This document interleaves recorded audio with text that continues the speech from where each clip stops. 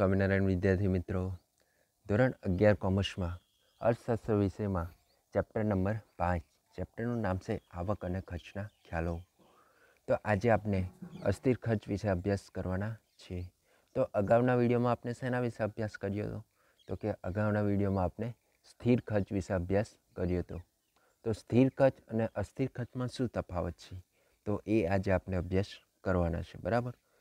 તો અસ્થિર ખર્ચ. તો અસ્થિર ખર્ચ કોને કહેવામાં આવે?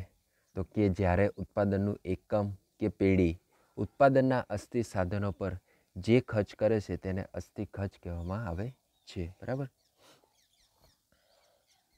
જ્યારે ઉત્પાદનનું એકમ કે પેઢી ઉત્પાદનના અસ્થિર સાધનો પર જે ખર્ચ કરે છે તેને અસ્થિર ખર્ચ કહેવામાં આવે છે. એટલે ઉત્પાદન કરતું એકમ, એટલે કે કોઈ કંપની અને પેઢી પેઢી હોય તે ઉત્પાદનના અસ્થિર સાધનો, એટલે કે એવા સાધનો છે જે અસ્થિર છે, બરાબર? કે ખર્ચ વધે, ઘટે, એટલે કે સ્થિર નથી, એમાં વધારો, ઘટાડો જોવા મળે છે, બરાબર? સમય અનુસાર.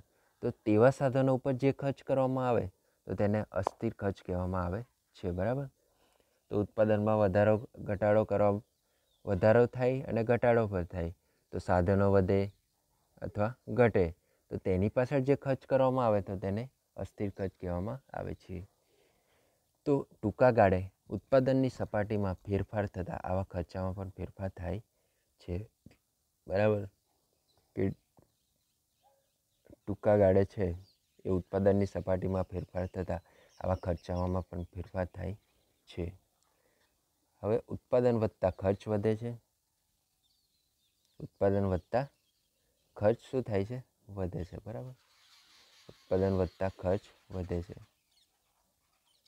અને ઉત્પાદન ઘટતા ખર્ચ પણ ઘટે છે અને ઉત્પાદન શૂન્ય થતાં ખર્ચ પણ શૂન્ય થાય છે. તેને શું કહેવામાં આવે છે? અસ્થિર ખર્ચ કહેવામાં આવે છે.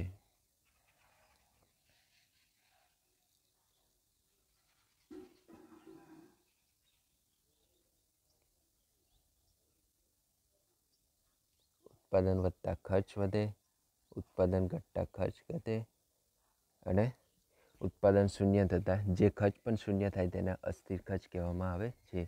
અસ્થિર ખર્ચને અસ્થાયી, પ્રત્યક્ષ અથવા મુખ્ય ખર્ચ પણ કહેવામાં આવે છે, બરાબર? તો વ્યાખ્યા શું હતી? કે ઉત્પાદન વધતા ખર્ચ વધે એટલે જેમ ઉત્પાદનની અંદર વધારો થવાનો, તેમ ખર્ચમાં પણ વધારો થવાનો, બરાબર? કોઈ બી એકમ વધે તો આપણે કોઈ વસ્તુનું ઉત્પાદન કરતા હોય, ધારો કે આપણે કપડાં બનાવતી મિલ છે, બરાબર? તો જેમ જેમ વધુ કપડાનું ઉત્પાદન કરીશું, તો ખર્ચમાં પણ વધારો થવાના, એટલા મશીનોનો ઉપયોગ વધારે થવાનો, પછી શ્રમિકો વધારે, વધુ રોકવા પડશે, તો તેમને વેતન ચૂકવવું પડશે, એટલે ખર્ચમાં વધારો થવાનો. એ રીતે કોઈ બી વસ્તુનું ઉત્પાદન કરવાનું હોય, તો જેમ ઉત્પાદન વધે તેમ ખર્ચ પણ વધવાનો અને ઉત્પાદન શૂન્ય થતાં ખર્ચ પણ શૂન્ય થઈ જાય. અને ઉત્પાદન જો શૂન્ય થઈ જાય, કોઈ કારણસર પેઢી ભાગી પડે, તો ખર્ચ પણ શૂન્ય થઈ જાય, બરાબર?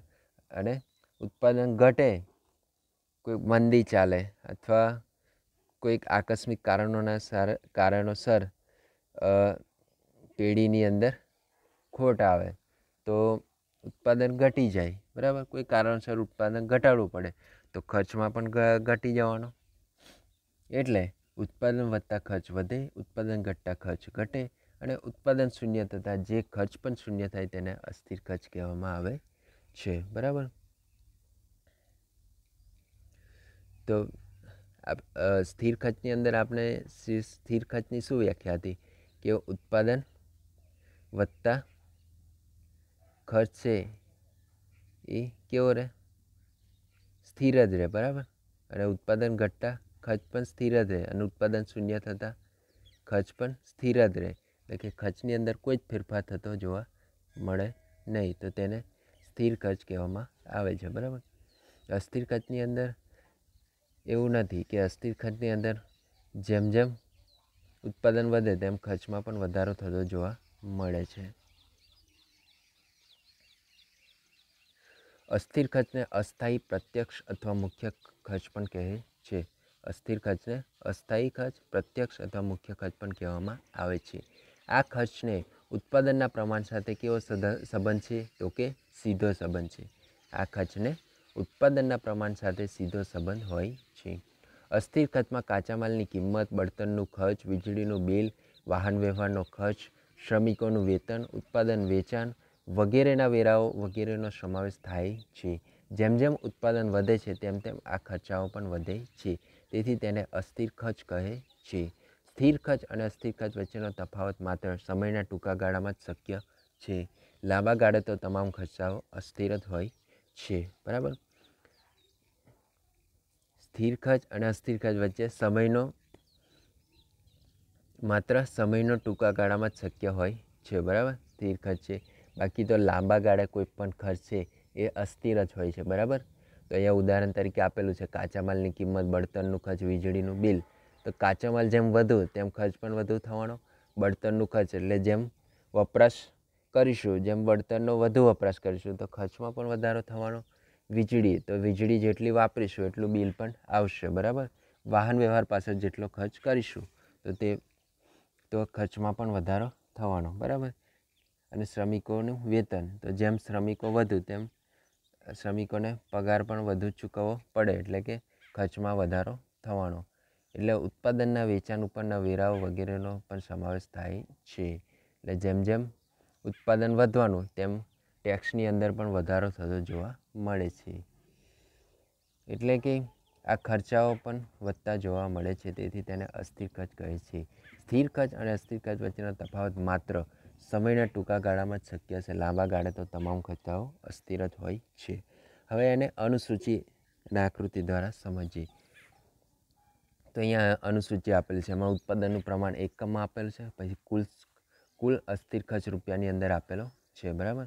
તો ઉત્પાદન શૂન્ય શૂન્ય થાય ત્યારે અસ્થિર ખર્ચ શૂન્ય હોય. પરંતુ ઉત્પાદન જેમ જેમ વધે છે, તેમ અસ્થિર ખર્ચ પણ વધતો જોવા મળે છે. બરાબર? અને તેને જોતાં જણાય છે કે ત્રીસ એકમ સુધી અસ્થિરખત ઘટતા દરે વધે છે, કારણ કે શરૂઆતમાં વધતી પેદાશ લાગુ પડે છે. ત્રીસ એકમ બાદ ઘટતી પેદાશનો નિયમ પણ લાગુ પડે છે, તેથી અસ્થિરખત પણ અસ્થિરખત વધતા દરે વધે છે. તો અહીંયા ઉત્પાદનનું એકમ આપેલું છે. ઉત્પાદનનું એકમ છે શૂન્યથી દસ, વીસ, ત્રીસ, ચાલીસ ને પચાસ. તો શૂન્ય હોય છે, ત્યારે સ્થિર ખર્ચ કેવો હોય છે? શૂન્ય હોય છે, બરાબર? પછી ઉત્પાદનનું એકમ વધીને દસ થાય તો કુલ સ્થિર ખર્ચ છે એંસી થશે. એટલે ખર્ચમાં પણ વધારો થતો જોવા મળે છે. એવી જ રીતે ત્રીસ હોય તો બસો દસ અને પચાસ થાય, ચાલીસ થાય તો બસો નેવું અને પચાસ થાય તો ત્રણસો નેવું, બરાબર? એટલે કે જેમ જેમ પ્રમાણ, ઉત્પાદનનું પ્રમાણ વધતું જાય તેમ કુલ સ્થિર ખર્ચની અંદર પણ વધ વધારો થતો જોવા મળે છે, બરાબર? એટલે વ્યાખ્યા પરથી જ આપણને ખબર પડે કે જેવી રીતે વ્યાખ્યામાં કીધું છે કે ઉત્પાદન વધતા ખર્ચ વધે, ઉત્પાદન ઘટતા ખર્ચ ઘટે. એ જ રીતે અનુસૂચિમાં પણ આપેલું છે, બરાબર? તો આ લાંબા ગાળાના ખર્ચા આપેલા છે, બરાબર? તો લાંબા ગાળે કોઈ પણ ખર્ચ છે એ સ્થિર ના હોય, બધા અસ્થિર જ હોય, બરાબર?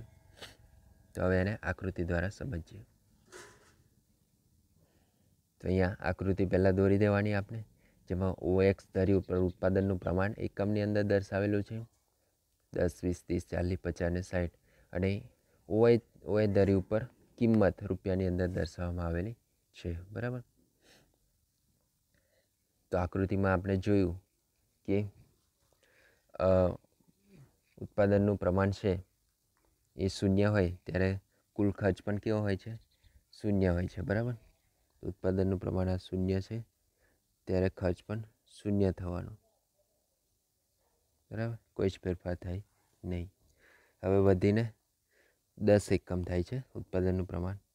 તો ખર્ચ કેટલો થાય છે? એંસી થાય છે, પચાસ સાઠ સિત્તેર ને એંસી. બરાબર?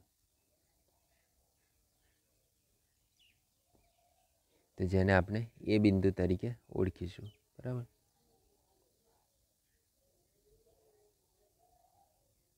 એવી જ રીતે વીસ એકમ થાય છે ત્યારે ખર્ચ છે કુલ અસ્થિર ખર્ચ એ કેટલો થાય છે? પચાસ થાય છે, બરાબર? કુલ ખર્ચ પચાસ, એકસો પચાસ થાય છે સોરી પચાસ નહીં પણ એકસો પચાસ.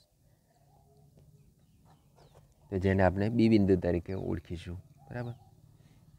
તેમ આકૃતિમાં પણ આપણે જેમ જેમ ઉત્પાદનનું પ્રમાણ વધે છે, તેમ તેમ ખર્ચ પણ વધતો જોવા મળે છે. તો એવી જ રીતે ત્રીસ થાય ત્યારે ખર્ચ છે એ બસો દસ થાય છે, બરાબર? તો બસો ઉપર દસ, બસો થાય એ રીતે ચાલીસ એકમ થાય છે પદનનું પ્રમાણ. તો ખર્ચ કેટલો થાય છે બસો ને નેવું થાય છે. એટલે પચાસ થાય છે ત્યારે ઉત્પાદનનું એકમ ત્યારે ખર્ચ છે એ ત્રણસો ને નેવું થતો જોવા મળે છે. એટલે અહીંયા ઉત્પાદનના પ્રમાણમાં વધારો થતો જાય, તેમ તેમ ખર્ચમાં પણ વધારો થતો જોવા મળે છે. બરાબર? આકૃતિ પરથી સ્પષ્ટ આપણને ખ્યાલ આવે છે. જેને આપણે બિંદુ નામ આપી દેવાનું એ બી સી અને ડી બરાબર? અને ઈ બરાબર? તો અહીંયા પચાસ એકમ સુધી આપેલું છે. એ જ રીતે કિંમત પચાસથી ચારસો પચાસ સુધી છે કિંમત દર્શાવી દેવાની. કારણ કે અહીંયા ફિક્સ કિંમત નથી, બરાબર? કે ફિક્સ ફિગ, ફિગર નથી કે એકસો પચાસ તો પછી બસો એવી નથી, બસોને એકસો ને નેવું આપેલી છે. બસો, દસ, સોરી બસો ને દસ આપેલી છે.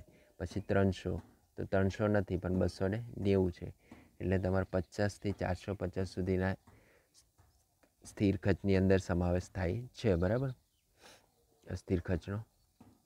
તો આપની કઈ રેખા વળી? ટીવીસી એટલે કે કુલ અસ્થિર ખર્ચની રેખા બની. કુલ અસ્થિર ખર્ચની રેખા. તો આકૃતિમાં ઓએક્સ ધરી ઉપર ઉત્પાદનના એકમો આપેલા છે અને ઓએચ ધરી ઉપર કુલ ખર્ચ રૂપિયાની અંદર દર્શાવવામાં આવેલો છે. એટલે જેમ જેમ ઉત્પાદન વધે છે કે દસ, વીસ, ત્રીસ, તેમ કુલ અસ્થિર ખર્ચ પણ વધતો જોવા મળે છે. એંસી, એકસો પચાસ ને બસો દસ.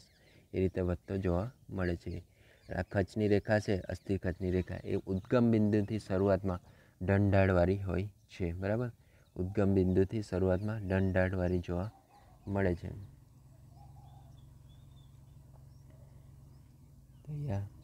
આમ પછી આમ પછી, આમ જોવા મળે છે ઢંઢાળવાળી કારણ કે શરૂઆતમાં ઘટતા દરે અને ત્યારબાદ વધતા દરે કુલ અસ્થિ ખર્ચ વધે છે. વધે છે. તો ટૂંકા ગાળામાં સ્થિર ખર્ચ નિશ્ચિત હોય છે, પરંતુ અસ્થિર ખર્ચ બદલાતું રહે છે. ટૂંકા ગાળાની અંદર સ્થિર ખર્ચ છે, પહેલાં આપણે આગળના વિડીયોમાં જોયું. સ્થિર ખર્ચની સ્થિર ખર્ચ વિશે અભ્યાસ કર્યો. તો એની અંદર છે સ્થિર ખર્ચ નિશ્ચિત હોય છે, બરાબર? એમાં સો એકમ આપેલા હતા, બરાબર? સ્થિર ખર્ચ સો, તો ઉત્પાદન વધે તો એમાં કોઈ જ ફેરફાર થતો નથી, પણ અહીંયા છે, તો અસ્થિર ખર્ચ બદલાતું રહે છે, કારણ કે આ કેવા ખર્ચાઓ છે? લાંબા ગાળાના ખર્ચાઓ છે. આ ખર્ચ ઉત્પાદન સાથે સીધી રીતે સંકળાયેલા છે. આ ખર્ચ છે, ઉત્પાદન સાથે કેવી રીતે સીધી રીતે સંકળાયેલા છે, બરાબર? પ્રોફેસર માર્શલ અસ્થિર ખર્ચને મુખ્ય ખર્ચ કહે છે. પ્રોફેસર માર્શલ છે અસ્થિર ખર્ચને મુખ્ય ખર્ચ કહે છે, બરાબર? એટલે આ ખૂબ પરીક્ષા માટે પણ અગત્યનો ટોપિક છે. કારણ કે સ્થિર ખર્ચ છે એ છે, એ મુખ્ય ખર્ચ નથી. પણ અસ્થિર ખર્ચ એ મુખ્ય ખર્ચ છે. કારણ કે કોઈ બી ખર્ચા લાંબા ગાળે થતા હોય છે, તો એમાં ફેરફાર થઈ શકે છે. સ્થિર ખર્ચ છે એ ટૂંકા ગાળાનો ખર્ચ હોય, તો એમાં નિશ્ચિત હોય છે. પણ મોટાભાગે લાંબા ગાળાના ખર્ચા વધુ થતા જોવા મળે છે આપણને. બરાબર? તો તમને અસ્થિર ખર્ચ એટલે શું તેના વિશે ખ્યાલ આવી ગયો છે બરાબર? તો અગાઉના વિડીયોમાં આપણે નવા ટોપિક સાથે મળીશું. ત્યાં સુધી સર્વને જય સ્વામી નારાયણ